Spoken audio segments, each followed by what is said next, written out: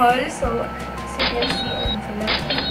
And if you guys don't know, nagpunta kami ng Hong Kong last February 2.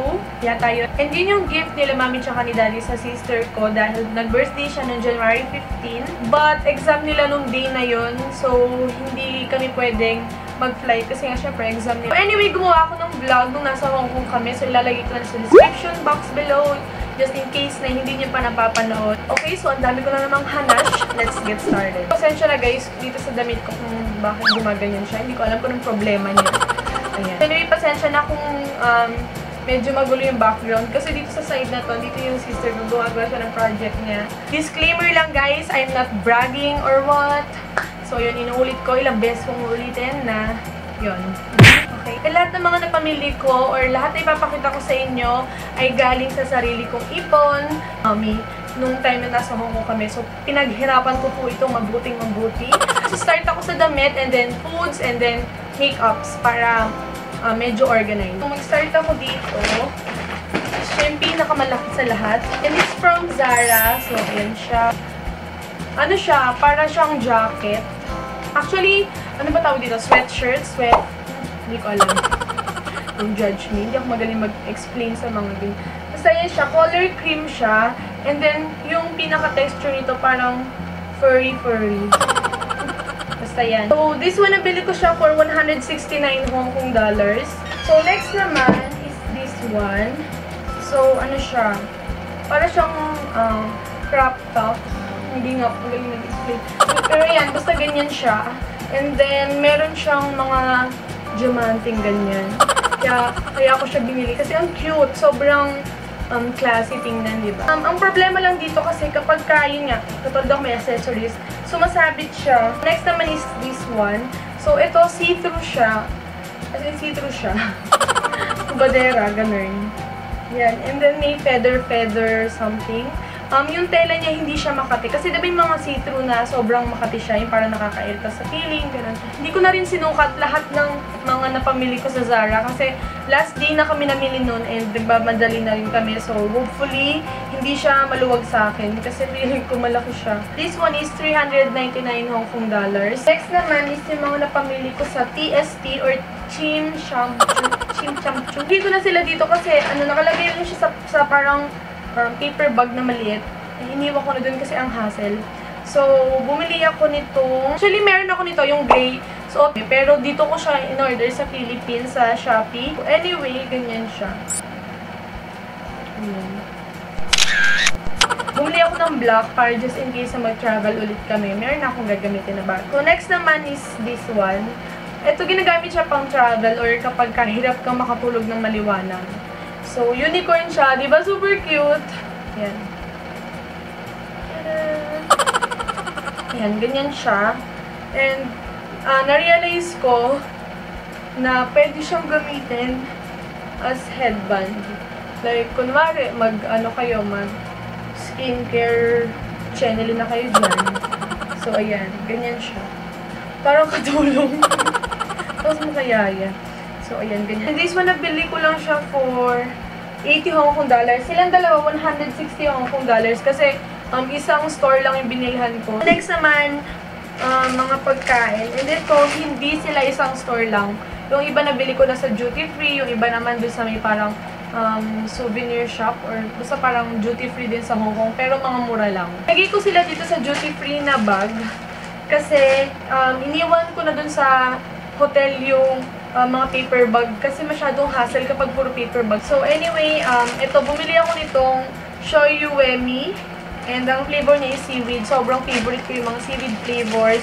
As in, kahit ano, basta seaweed kakainin ko talaga. Kahit yung fresh na seaweed, kumakain ako ng sobrang favorite ko yun. Lalo na kapag kakinilaw. Mm, medyo yun sarap. Yan. Ubus na siya guys. Kagabi yung last kain ko nito. Sobrang sarap kasi kaya na hindi ko na natiis. So next naman is Lay's. Yan. Wait. Hindi ko kasi naiintindihan. Basta Lay's nakalagay siya. Nakalagay dito. Tapos Chinese, Chinese. And the flavor din ito is seaweed. So, next naman is this Seashells Praline Governor's Chocolate. Bumili ako ng dalawa. And natikman ko na to guys. Wait, sabihin mo ko. Ang sarap nito, mas masarap siya sa Ferrero. This one, nabili ko siya sa duty free kasi um, ginamit ko na yung Hong Kong dollars na natitira ko. Kasi sayang naman. So, ayun yung tsura niya. Ang bango! Mm. Yan. So, next naman are from Disneyland. Ito, ano, dalawang plastic siya. Yan. Isang um, accessories, tapos isang puro pagkain. Actually, um, yung umaga, yun yung, ito lang, yung accessories lang, kaya siya maliit. And then, nung gabi, bumili na kami ng pagkain kasi, wala lang. Ang cute kasi ng mga packaging. Okay, so mag-start ako dito. So, this is the Tsum Tsum Gummy Bear or Gummy Pack. Ang cute niya. Sobrang cute. So, pupunta kayo ng Hong Kong Disneyland. Bumili kayo nito guys. This one is 38 Hong Kong dollars lang. So, ayan yung packaging niya, di ba? Sobrang cute. As in, sobrang cute talaga. Para sila mga baby version ng mga Disney characters. Hmm, sobrang cute. And then, next naman is this Tsum Tsum or Chum Chum, hindi ko alam anong pronunciation. Basta yun, gummy candy pack. So, gummy bear din siya. Napabili ako sa kanya dahil sa packaging. So, ano ba tawag dito? Cheese wafer roll from Toy Story. Ang cute, diba? Ang cute ng mga packaging. Doon ka mapapabili sa packaging niya. Sobrang cute talaga. Yan. Yun ang tawag sa kanya, cheese wafer roll. So, doon siya sa gawin na Toy Story Land ba yun, Steph? Toy Story Land ba yun? Basta yun, Toy Story something. Yung sa rides nila. Yun, doon, sa store nila. And then, next naman is this one. This is the Hello Kitty Burger Gummy. Ito, uh, binili ko to kasabay nitong mga to.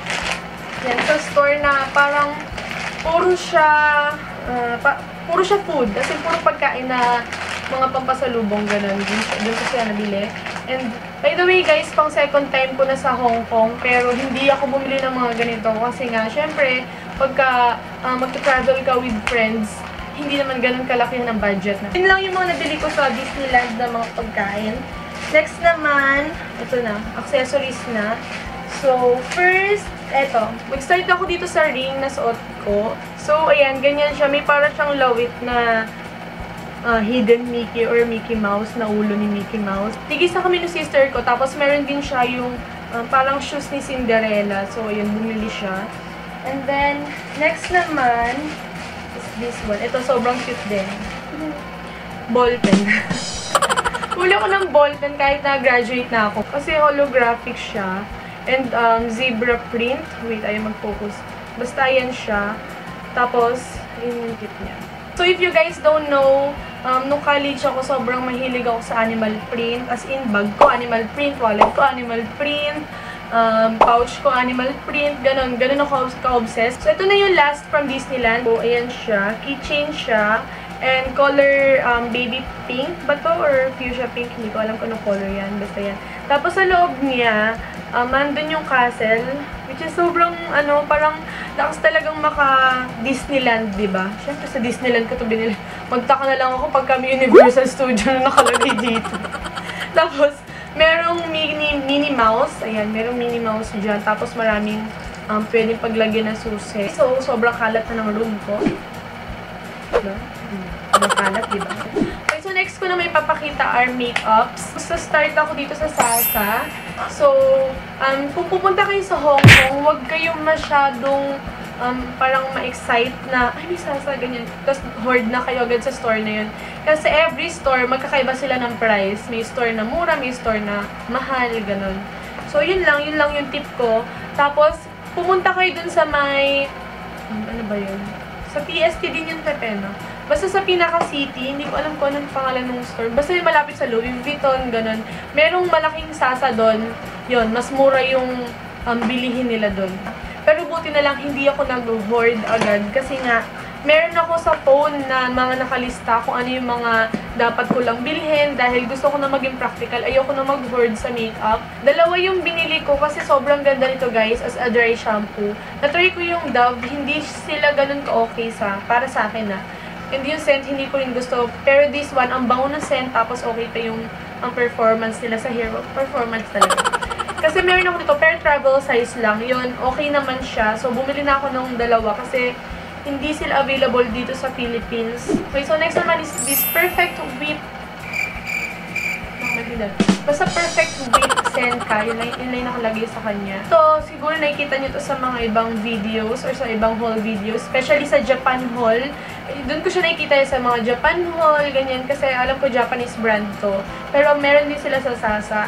Um, this one is facial wash and sabi nila sobrang ganda daw nito. Okay, so next naman is this one. This is the K Palette um, Lasting Cheek Tint One Day Tattoo.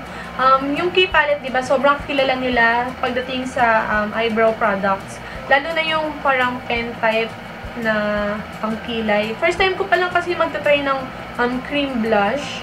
And, ayan siya. Para siyang yung um, blush na Nars Orgasm. Ganun na ganun siya. Next naman is Lucas Popo ointment. Hindi siya papaw daw. Popo.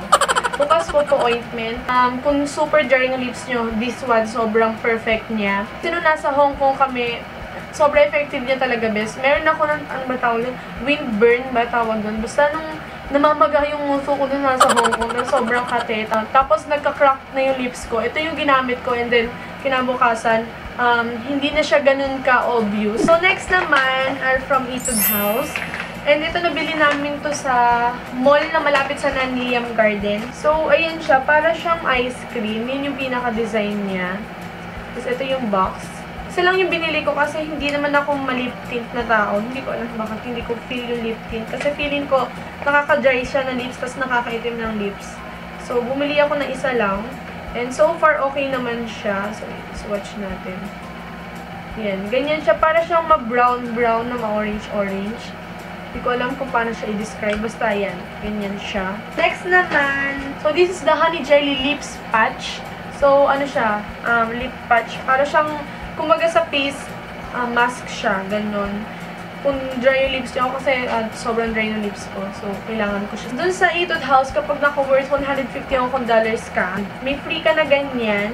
And yung sister ko, pinili ko siyang bumili ng lip tint niya para lang makakuha ko to. Kasi, ano, maraming may gusto nitong BB something na to. And available naman siya sa Philippines. Just in case na okay siya, at least, uh, madali siyang bilhin. Um, bumili ako nito kasi kulang. Parang 140 Hong Kong dollars pa lang yung nabibili namin. Okay, so ito na yung last, but definitely not the least. And kung napapansin nyo, hindi ganun kadami yung mga nabili kong makeup. More on, ano pa, skincare products, ganyan. Kasi meron nga ako nakalista sa phone.